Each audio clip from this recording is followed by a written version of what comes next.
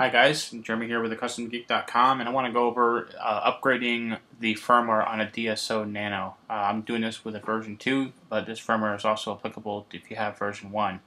The firmware we're going to be installing today is the BenF firmware. Uh, the links are below on the site. And so you can see that you can end up with this folder called UM0412. Uh, this is a DfuSe installer. And uh, if you take this guy and you just launch this program, it'll go through setup. I've already done it on this machine, so I'm not going to do it and uh, save you the long, boring setup. It's ju it's just a, it's actually not that long at all, but it, you DCS everything to death. There's nothing special about that setup. Um, I do want to show you when you uh, when you launch the program here. So we're going to go to Start. This is after you install. You go to All Programs and ST Microelectronics, DfuSe, and DfuSe demonstration actually. Uh, you'll get to this screen right here um, and you notice that there's no devices and at this point we want to plug our nano in. So we plug that in USB and then while holding the down arrow we want to flick the power switch on so it'll boot up. And uh, I'm running a Mac here so we're going to connect to the Windows side. And so uh, Windows has found it. Now, at this point, I already installed my drivers. If you don't have drivers installed, it'll ask you where the drivers are. Uh, let me show you because this program installs them for you.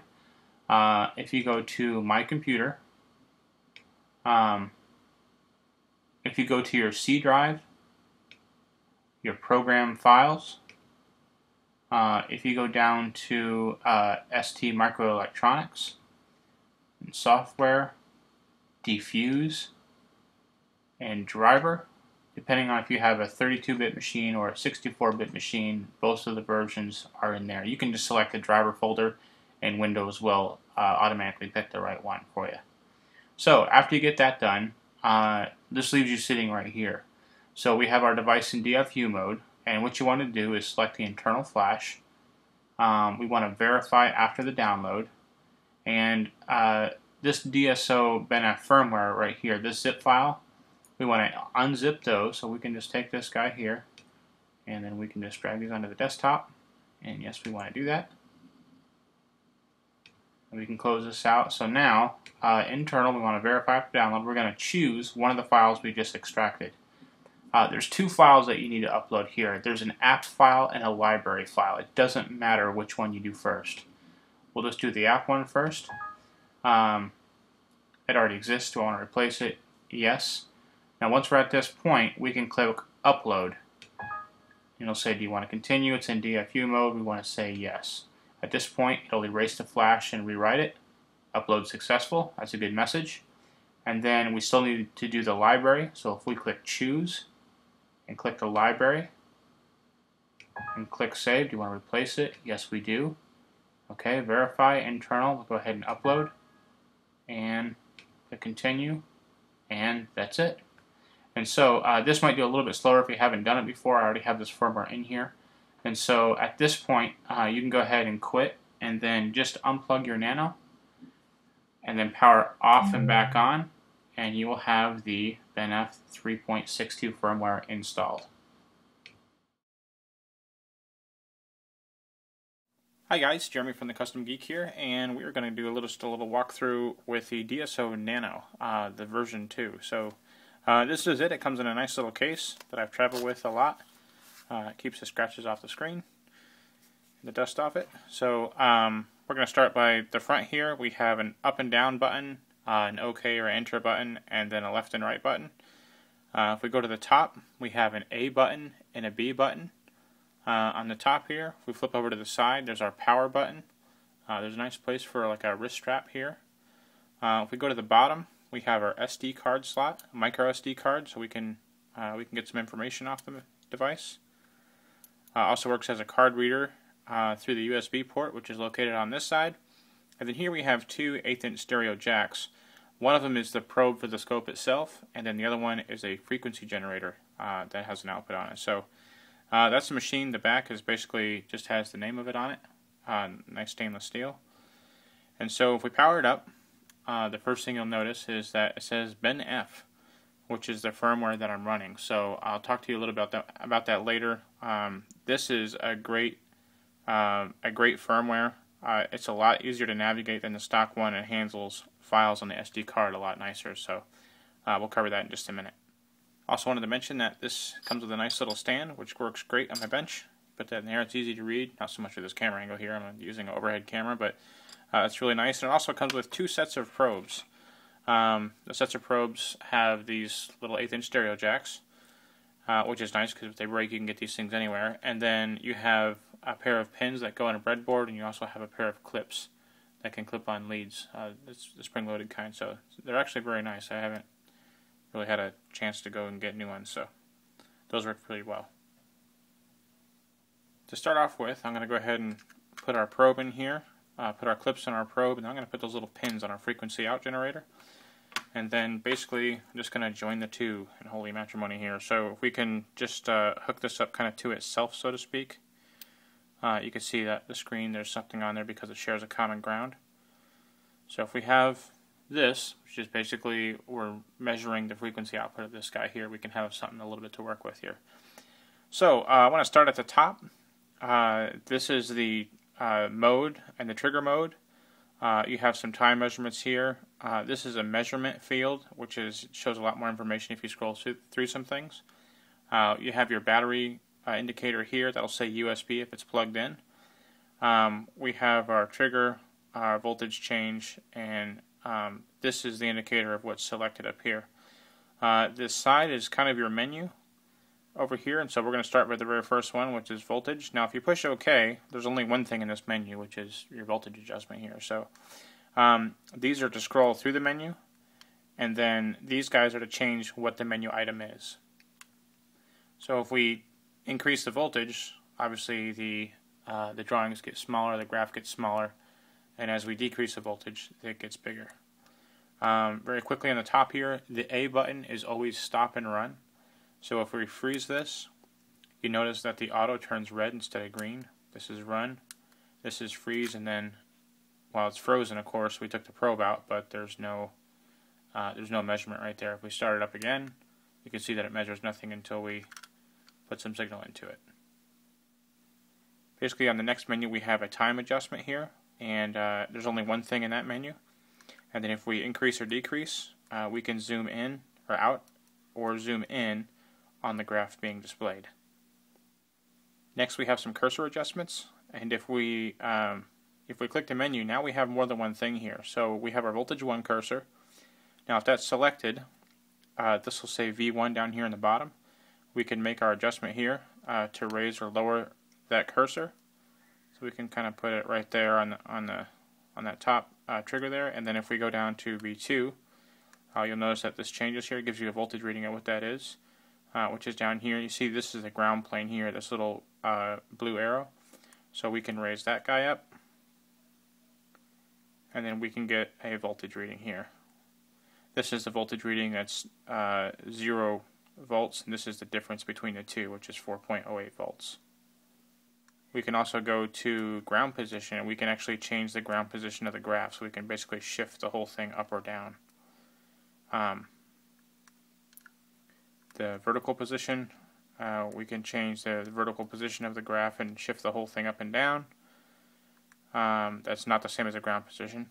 And then a reference position, uh, which if we don't have a reference file loaded, but we'll do that later though.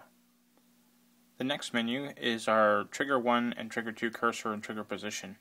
Um, so trigger 1 cursor again are these lines so you can measure the time in between pulses. So if we put this here on the falling edge and then we go here and we select the other trigger and then we push that guy away over here you can get an idea of the timing of these cycles here. We put this on the next falling edge and it's about 500 uh, microseconds which is a 1 kilohertz signal, so it makes sense.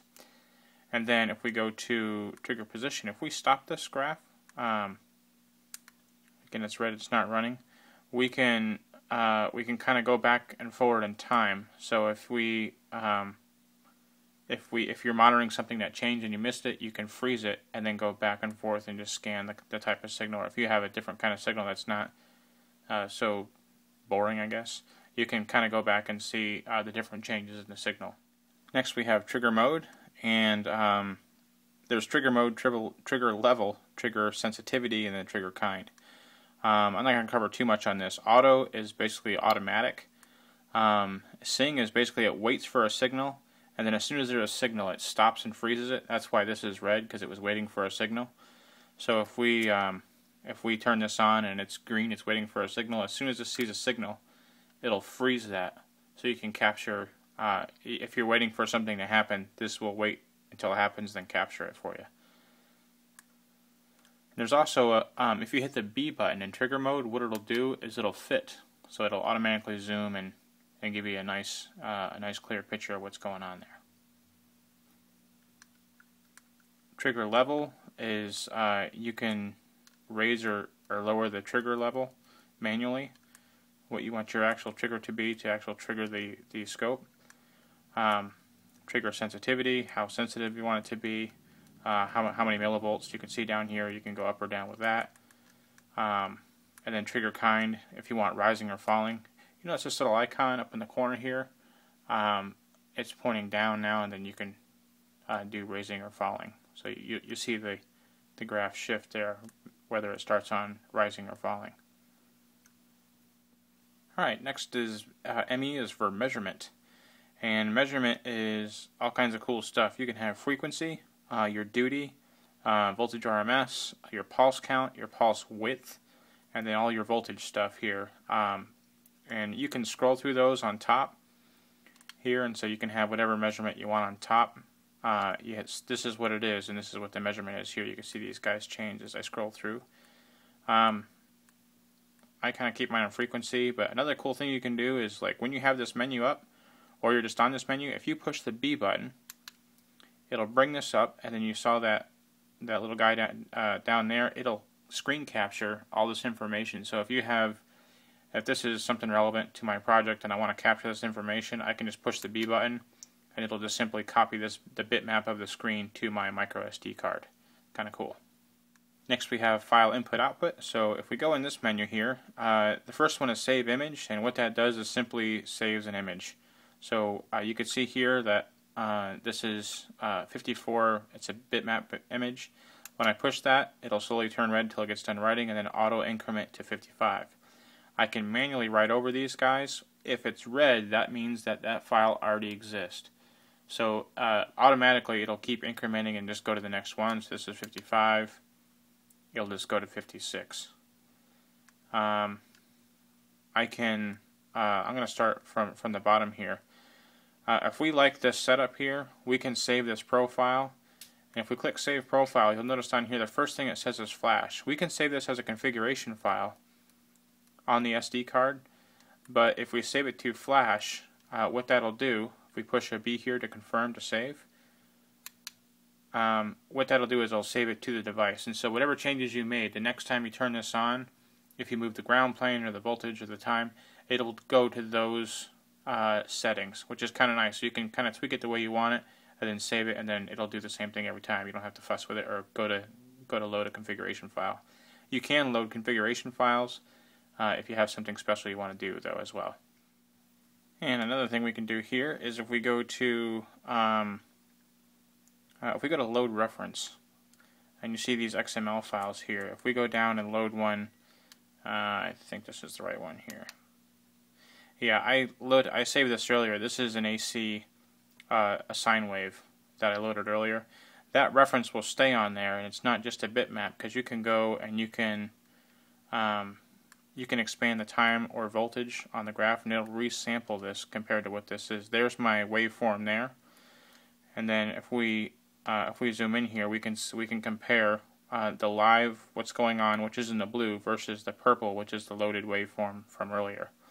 So um, that's that's a nice thing. It's not really it's a single channel scope by all means, but if you save one waveform and then you measure something else, you can kind of compare the two. Uh, it's kind of a, a long way of doing it, but it's it's kind of neat because it makes it possible. Uh, if we go back down here, um, these are also XML files, so you can export those if you if you write software for that. Um, it is a pretty just a basic XML file there and then you can uh, you can save these images as well too. And again, this will uh, same way it saves the pictures. It'll auto increment the next one. uh, red when it's writing and then uh, white when it's ready. Um, your, oh, I'm sorry, one more thing. Um, show reference. You can just show or hide the reference. And then uh, let's actually show that. And I'm going to show you the next thing, which is our frequency out. So this was uh, a 60 hertz sine wave right here, just from an AC adapter on the wall. So our frequency out, um, you can see our B key will change the digits of what adjustment is being. So you can uh, you can kind of tweak this a, a lot. Um, we can turn this down to uh, 60 hertz, and let's zoom out just a little bit here. And you can see that that almost matches up there because this is a 60 hertz sine wave and this is a 60 hertz digital uh, signal. So it's kind of neat. And then again, you can go down to frequency output and you can get fancy here and say I want to go 55 hertz or 61 or whatever your heart's content. Uh, this goes down to 10 hertz and it goes up to 1 megahertz for uh, for frequency generation. So of course that's that. Um, so that's it for for that. Hey guys, uh, one more thing I wanted to show you here is about the frequency output. Um, I did a video on PWM and how that works here, and I have an LED. Sorry, it's kind of bright for the camera here, but uh, it's hooked up to the same wires that my frequency generator is, and you can see on the meter how it's kind of half on, half off. So I, I mentioned before that we can adjust our frequency output here, so we can really tone this down, you know, into, you can see this, this LED really starting to blink here. I don't know how it's coming across in the video in the end here, but let's turn this back up to um, 1K. Uh, if we go here, we can adjust the duty of it. So uh, we were just adjusting the frequency of the pulses. Now we're adjusting the width of the pulses, and it's at 50%. You can see the same time they're off, they're on, then off and on. Uh, if we increase or decrease that number, if we increase that, they're on a whole lot more, they're high a lot longer than 80% of the time, and they're low 20% of the time. Now, if you look at this LED, I don't know how well know how well this is going, but if I turn this down here, it's going to uh, look a lot dimmer. I'll turn this all the way down to 1. I know it's still probably blowing away the camera here, but you can see how it dims, and then if I if I turn this up, this ramps up. The same way that we quote-unquote dim LEDs using PWM output on an Arduino. So anyway, this I forgot that. I want to put that in there. Okay, ladies and gentlemen, uh, one more last thing is the other menu. So in the other menu, we have uh, the buffer priority, um, equal or post. We have the sample speed, uh, which is normal and fast. We have the display mode, which is average and peak, which is really really only applies to uh, oversampled signals. It's not. Uh, uh, it's it's for nothing else than other than over oversampled signals. probe attenuation, you can go 10 times or 1. Uh, so that's that guy there. And then grid intensity, uh, if you like squares, or if you do not like squares, or anything in between. So there's, I believe, eight, eight different levels for that. And um, your calibration gain, and then if you want to save your calibration, uh, you go ahead in there, and, and then you you go ahead and save it okay. I checked the calibration on mine, it was pretty accurate, so I didn't mess with it. I didn't have to, so um, that's the other menu there. So uh, again, this is Jeremy from thecustomgeek.com, and thanks for watching.